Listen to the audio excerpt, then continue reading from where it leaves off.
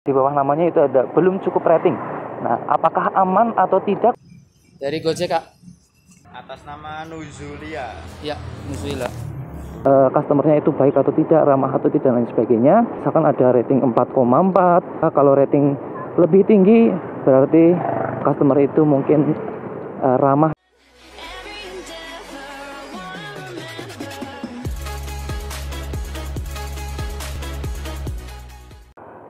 Oke, halo sahabat ojol. Assalamualaikum warahmatullahi wabarakatuh. Di sini saya mendapatkan orderan yaitu dari GoPartner ya. Kita langsung jalan saja.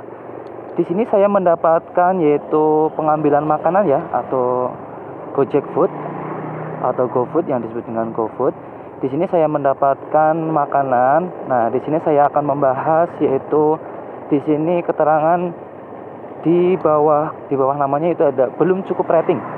Nah, apakah aman atau tidak untuk kita jalankan dan bagaimana cara menjalankannya? Nah, oke saja kita ikutin video ini sampai selesai agar kalian tidak ketinggalan pada video channel Asal Vlog ini. Di sini saya mau ke arah makanan dulu atau menjemput makanan ya. Nanti kita atau saya akan bahas setelah mengambil makanan. Jadi tunggu sampai selesai. Nanti setelah itu saya akan ceritakan setelah mengambil makanan. Ini saya ambil Mokuzai Asian Japanese food ya di Condong Catur. Oh ternyata ini ya. saya bingung tuh ini depan. Oke saya akan ambil dulu di sini makanannya. Dari Gojek kak?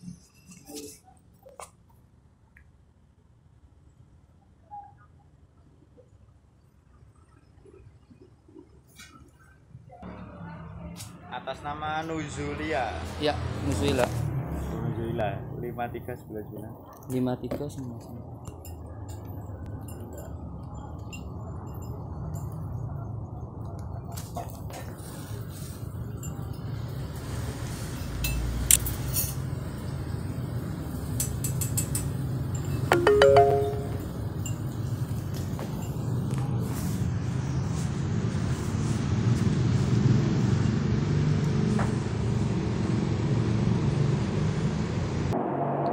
Oke, alhamdulillah ini sudah dapat orderannya. Oke, langsung saja kita OTW ke customer.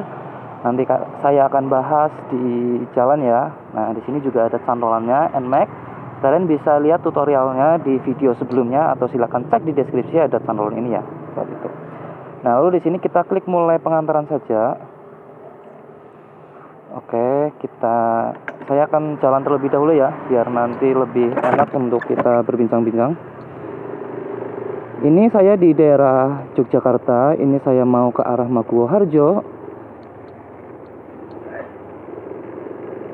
Oke, sebelumnya di sini eh, kenapa saya akan membahas tentang rating ya. Nah, di sini kenapa kok ada rating tadi? Nah, ini ternyata hilang kalau misalkan belum digeser.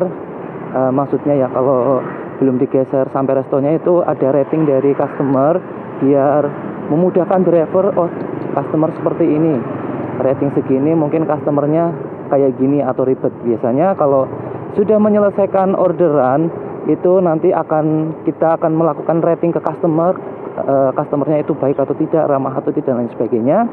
Nah di situ menunjukkan uh, kualitas customernya ya. Misalkan ada rating 4,4 atau 3, berapa. Kalau rating lebih tinggi berarti customer itu mungkin uh, ramah dan lain sebagainya gitu ya Lalu di sini tadi uh, yang pertama saya akan munculkan tidak ada rating sama sekali. Kenapa seperti itu? Itu menandakan bahwa customer itu baru menggunakan aplikasi tersebut ya.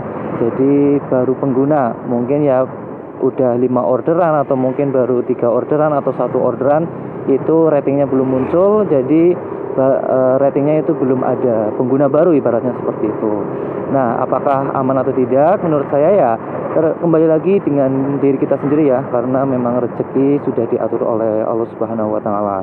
Nah, di sini yang saya akan uh, memberikan sedikit tips merekomendasikan untuk kalian teman-teman semua yaitu di sini saya mendapatkan uh, untuk orderannya adalah nah kalian bisa lihat nah, di sini ada tulisan saya tidak terlihat jadi saya tutup sedikit ya yaitu Gojek depositnya dan tagihan tunai. Di situ ada tulisan seperti itu.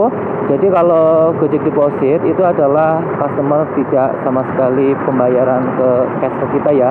Jadi sudah membayar dengan GoPay ibaratnya kayak gitu. Kalau misalkan tunai berarti eh, customer itu membayar dengan uang cash. Nah, jadi hal seperti ini yang buat kita juga harus mempertimbangkan. Nah, kalau di sini saya sering sekali kalau pengguna baru itu sudah melakukan pembayaran GoPay itu menurut saya aman banget. Nah, gitu ya. Nah, kita belok kanan di sini. Ya, belok kanan. Eh, belok kiri maksudnya ya, maaf maaf ya, mohon maaf. Nah, jadi yang pertama adalah kalian kalau mau menjalankan itu dilihat dulu apakah pembayaran tunai atau pembayaran GoPay. Kalau misalkan pembayaran GoPay udah aman aja. Walaupun kita tidak chat, ya itu aman ya. Jadi karena dia sudah membayar walaupun kita menyelesaikan tanpa ketemu orang ya tanpa kita diberi uang ya sudah karena memang customer itu e, membayar dengan GoPay jadi aman-aman saja. Itu yang pertama ya. Yang kedua, kalau misalkan pembayarannya non tunai atau pembayaran cash itu harus dikonfirmasikan dengan chat terlebih dahulu seperti ini. Kalian bisa chatting uh, misalkan aplikasinya sesuai aplikasi atau tidak. Ketika merespon, responnya baik ya itu alhamdulillah berarti kita harus menjalankan.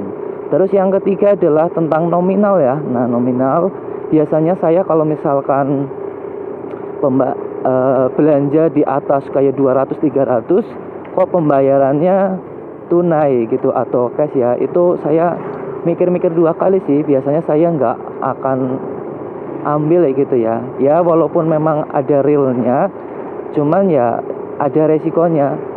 Resiko besar juga. Resiko besarnya ya kalau misalkan memang itu orderan efektif ya kita rugi banyak ya gitu ya. Contohnya seperti itu. Cuman kalau misalkan orderan banyak nah, itu biasanya akan mendapatkan tips dari customer itu mendapatkan uang lebih ya.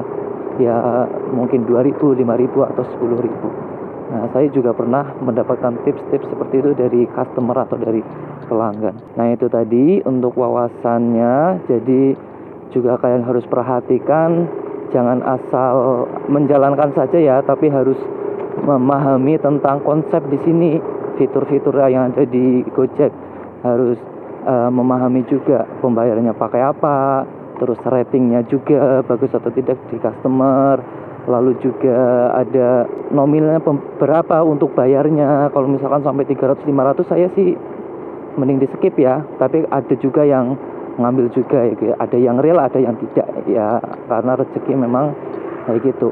Untung-untungan ya gitu sih untuk ke arah mana ini di daerah Maguwarjo ya. Jadi kalau belok kiri itu ke stadion yang Sleman itu. Magua mungkin ya namanya ya. Nah stadion Sleman. Kalau ke arah kiri tadi. Paling 100 meter lagi juga sudah sampai sih untuk ke stadionnya. Saya akan lanjutkan perjalanan ini untuk mengantar makanan. Jadi di sini kita tinggal ketemu customer dan menyerahkannya lalu kita sudah pulang tanpa kita meminta itu ya apa uang cash ya karena kita sudah melakukan pembayaran atau customer sudah pembayaran dengan GoPay. Oke di sini juga ada keterangannya sih katanya rumahnya. Nah di sini ada keterangannya. Memang harus jeli juga ya mapnya ya. Jadi harus memahami kalau belum hafal banget bisa pakai GPS map Nah, ini kan pakai GPS aplikasi jadi kurang respon atau terlambat dalam perjalanan yang ada ini gambar motornya ini ya. Coklat. Oke. Kita coba cek kembali untuk keterangannya. Kosnovik pagar coklat tinggi sebelah.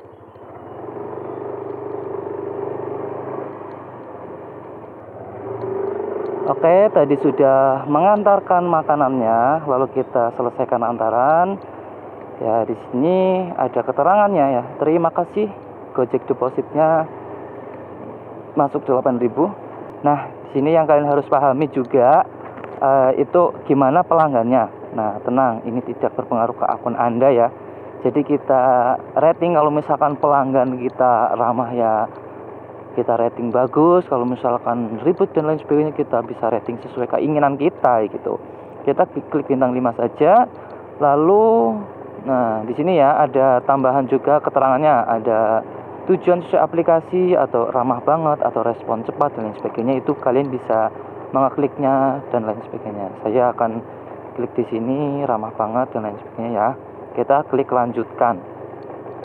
Ya di sini sudah. Dari sini juga kalian bisa rating restonya ya.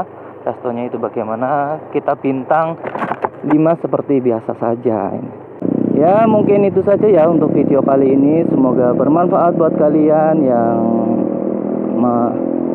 yang mendapatkan resto seperti itu atau mendapatkan pelanggan yang ratingnya belum ada ya bisa bermanfaat bisa menjadi wawasan dan penambahan ilmu ya gitu ya ibaratnya Oke sekian dari asal motovlog kurang lebihnya. Mohon maaf.